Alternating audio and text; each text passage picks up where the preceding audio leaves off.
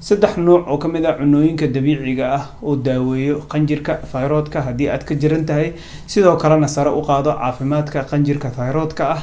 Qanjirka thyroidka oo dhuunta hoosteeda ku yaalla waa qanjir muhiim ah nini naagba muhiim u ah. Haddii aad ka jiratana qofka uu wajahayo dhibaatooyin fara badan oo caafimaad wuxuuna isku arki karaa calaamado ah. Qofkao cayilo isku ogeyn isku arko abateydkao ka xirmo. Sidoo kale xabeeb dhuunta qofkiioo yeesha daal fara badan.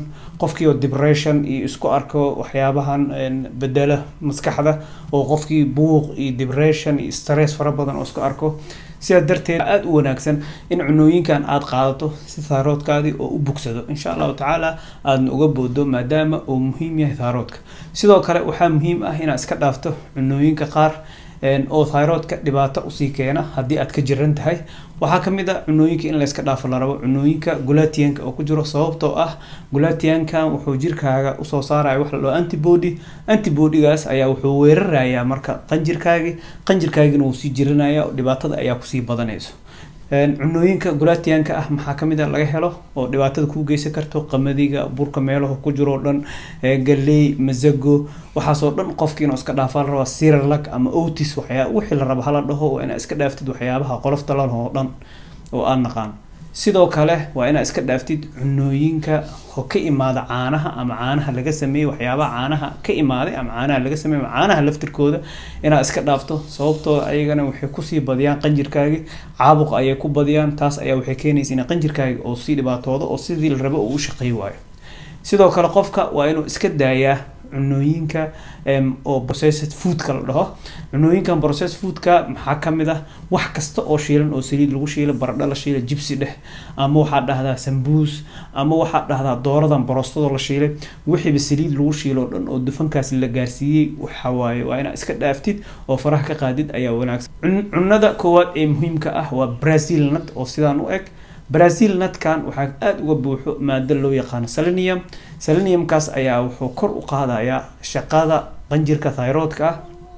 Taasaana waxay keenaysaa in qanjirkaaga oo sidii la rabo u shaqeeyo oona soo saaro dheecaanadii loogu talagalay.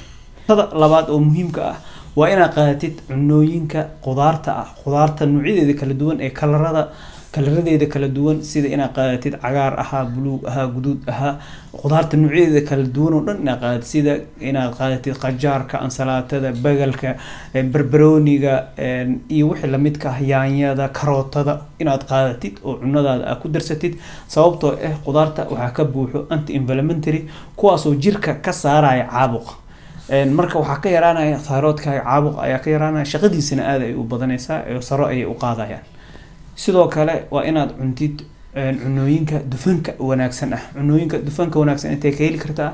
Maxaa la dhahaa afkaadhada ka heli kartaa. Qumbaha saliidda qumbaha isticmaali kartaa. Waxaa isticmaali kartaa saliidan olivada ama saliid zaytuunka a u naqaan ayaa isticmaali kartaa.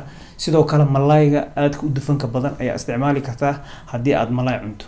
Waxay ayagana sare u qaadayaan in dheecaankaaga si fiican loo soo saaro. Waxaa aada u maqashaa dufanka waa xun yahay waa xun yahay laakiin dufanka fiican waa la ogolyahay qofka inuu qaato. Dufanka xun waa midka shiilan oo hadda aan ka soo digaynay oo cunooyinka shiilan. Dufanka imaada ama transifatka ayaa xun. Sidaas darteed cunooyinkan badi cunooyinkan haddaa badisidna caafimaadkaaga sare ayuu noqonaya insha allahu tacaala. Sidoo kale inta badan dadka seleniumka ayaa ku yar waxaana wanaagsan hadduu qofka thyroid ka jiran yahay inuu qaato asigana kaniinigan seleniumka la dhaho asoo kaniini ah sababtoo dadka inta badan selenium la'aan ayaa hayso taas ayaan u keenaysa in thyroidka ay ka jiradaan. Marka waxaa wanaagsan inuu kaniini maalin kasta uu qaato boqol miligram ilaa laba boqol oo miligram inuu qaato ayaa wanaagsan seleniumka si thyroidkiisa oo caafimaadkiisa sare uu kaco waxaan rajeynaya macluumaadkan inuu noqdo mid dadka dhan ay ka faa-iideystaan insha allahu tacaala. Si looga faa-iideysto la wadaag walaalkaaga aas leedahay macluumaadkan aada ugu baahan yahay ama qanjirka ayuu ka cabanaya si uu macluumaadkan uga faa-iideysto asalaamu calaykum waraxmatullaahi wabarakaatu